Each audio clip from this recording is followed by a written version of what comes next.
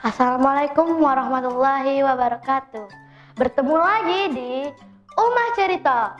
Hai teman-teman, perkenalkan nama saya Cila Atifah Agusni. Panggilan saya Cila. Saya akan membawakan sebuah cerita yang berjudul Raja dan Anak Yatim yang berasal dari Jambi. Mau tahu lanjutan ceritanya? Setelah yang satu ini ya, hanya di Umah Cerita.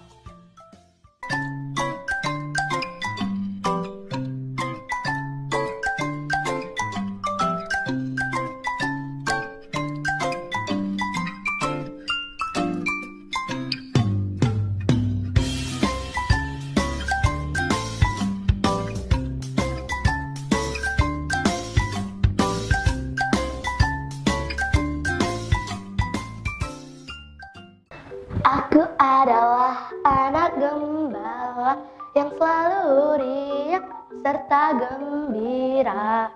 La la la la la la la la la la la la Di negeri Jambi ada seorang raja yang sangat kejam.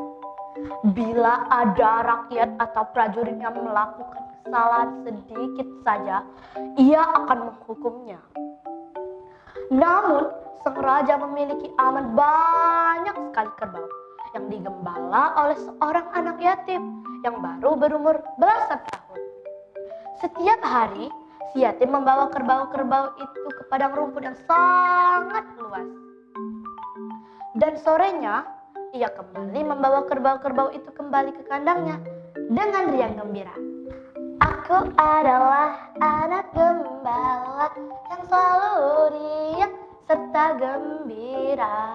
La la la la la la la la la la la la la la la.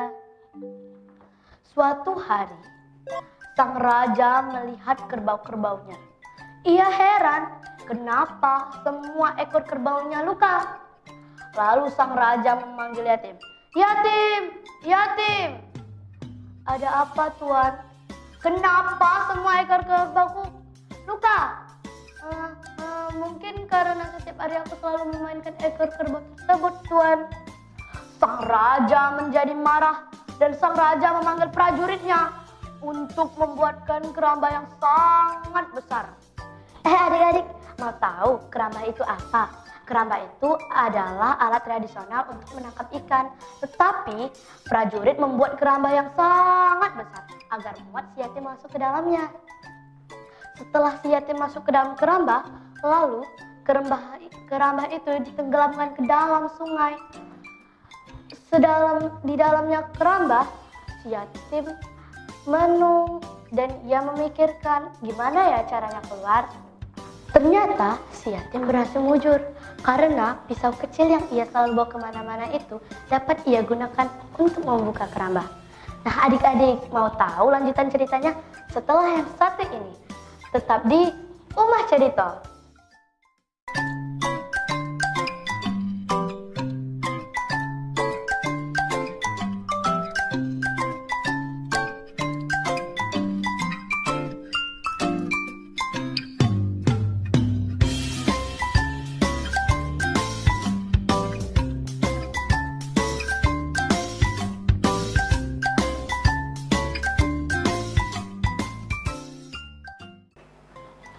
Dan akhirnya si yatim sampai ke daratan dengan selamat. Dan ia berpikir untuk membalas tingkah laku sang raja tersebut. Lalu ia mencari sepah sirih, sepah tembakau, terompah bekas, dan baju bekas. Lalu ia pergi menghadap raja. I, raja pun heran melihatnya. Dan ia berkata, sebenarnya hamba telah diutus dari surga hamba bertemu dengan kedua orang tua Baginda. Inilah yang dititipkan oleh ibu Baginda dan ayah Baginda. Kapur bekas ibu Baginda, tembakau bekas ayah Baginda, baju bekas ayah Baginda, dan terompah bekas ayah Baginda. Dan raja pun memanggil prajuritnya untuk membuat keramba yang besar. Setelah itu, raja masuk ke dalam keramba tersebut dan si yatim memasukkan ia ke dalam sungai tersebut. Dan sekianlah cerita dari saya. Ada pesan moral yang saya ingin sampaikan. Satu, kita tidak boleh sombong. Dua, kita harus baik kepada anak yatim. Sekianlah cerita dari saya. Sampai jumpa lagi di Umar Cerita Bungo TV selalu di hati. Wassalamualaikum warahmatullahi wabarakatuh.